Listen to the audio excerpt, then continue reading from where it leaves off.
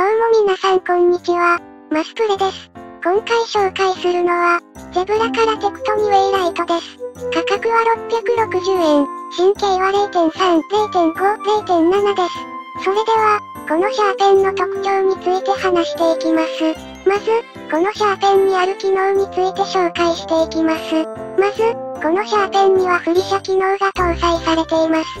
これは本体を振ることによって芯が出る機構です。また、ワンクリックで振り車機能をオフにすることにより、余計な音を出さず勝手に芯が出ないようになります。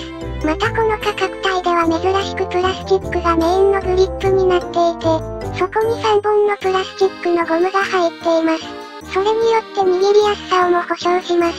また、製図用のパイプで2段階構造のペン先になっているため筆記時の視界も良好です。を話していきます。まず、書き味はよく製図用ならではの書き味です。また、振り車機能をロックできて無駄に芯を使いません。ですが、長時間筆記では手にゴムの跡がつきます。総合評価に移ります。総量は星3です。短時間筆記なら十分な成果を発揮するでしょう。良ければ、高評価、チャンネル登録お願いします。それでは、ご視聴ありがとう。